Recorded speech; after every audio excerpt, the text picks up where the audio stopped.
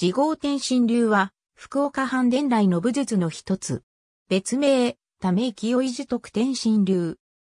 明道館柔道の悲壮福寺総流寺は、すべてのものを武器として使用する総合武術であったが、現在では主に柔術が送伝されている。古式の技法が数多く残されており、逆手を中心とした関節技、糸り、憲法、逮捕術、活法など多彩な技を今に伝えている。また2005年に福岡市の無形文化財に指定された。流祖の藤田ふもと検定は、黒田藩武術指南役の久保定治の下で、両移り神東流を収めた後、柔術の代表である陽神流を、秋月藩武術指南役の海が東蔵直方に指示し、極意回伝を受けた後、二流に自己の工夫を加えて、ため勢い寺得点神流をこしこした。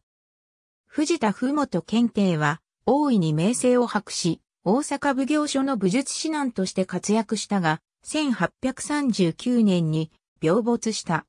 藤田の一人娘をめとった少林道の在世中、及び子息また七郎が送電の頃までは、両移り神道流とため勢い寺得点神流の両派の名称で指南したようである。また七郎が壮年時に病没したので、皇帝たちが合議した結果、その流名を白強し天神流と称するようにしたようである。圧林道の自著した伝書に、自合天神の巻があり、これに基づいたとされる。少林、藤立花の没後、原用者の付属、道場明道館が伝承の中心的な役割を担った。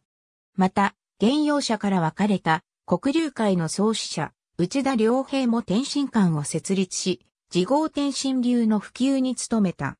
山本義康によれば、以下の通りで、両移り新東流のつて系と同一視されている。小、林家明道館道場天津館道場。ありがとうございます。